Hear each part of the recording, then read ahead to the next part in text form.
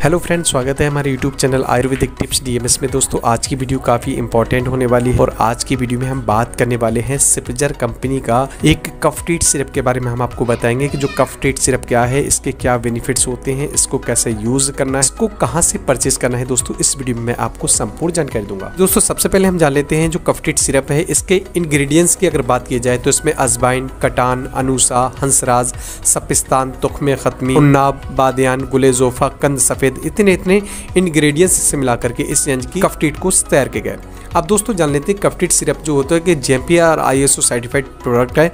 अब दोस्तों जान लेते हैं कफटिट सिरप एक क्या हर्बल मेडिसिन है जो कि सभी प्रकार से एक हानि रहित होती है। कफटिट सिरप बदलते मौसम के साथ साथ जुकाम, खांसी के लिए काफ़ी इंपॉर्टेंट ये सिरप होता है। जिन लोगों के लंग्स में या कि किसी प्रकार का इन्फेक्शन है तो उसको दूर करने में काफ़ी इंपॉर्टेंट होता है। आजकल क्या है, जैसे जैसे मौसम बदला है, उस मौसम के साथ साथ में लोगों को सर्दी, जुकाम बहुत ज़्यादा बनी हुई है। गले में खराश हो रही है, गले में इन्फेक्शन वगैरह हो जा रहा है तो उस कंडीशन में क्या है कि अगर आप कफटिट सिरप का इस्तेमाल करते हैं तो ये गले के किसी भी प्रकार के संक्रमण के लिए काफ़ी इंपॉर्टेंट सिरप होता है दोस्तों। जान लेते हैं कि जिन नौजवानों के सीने में की जकड़न सी रहती है, सीने में जकड़न के साथ साथ में बलगम की बहुत ज़्यादा आवाज़ आती है तो उस कंडीशन में अगर आप यहाँ की कफटिट सिरप को इस्तेमाल करते हैं तो ये क्या करता है, सीने के बलगम को यहाँ पतला करके बाहर निकालने का काम करता है। वो नौजवान जिनको सांस लेने में काफ़ी समस्या होती है तो उस कंडीशन में अगर आप कफटिट सिरप का इस्तेमाल करते हैं तो ये श्वास लेने में काफ़ी इंपॉर्टेंट होती है। एंटीबायोटिक्स गुड़ों से भरपूर ये सिरप होती है। ये कफटिट सिरप गले की किसी भी प्रकार के इन्फेक्शन के लिए काफ़ी इंपॉर्टेंट होती है, दोस्तों।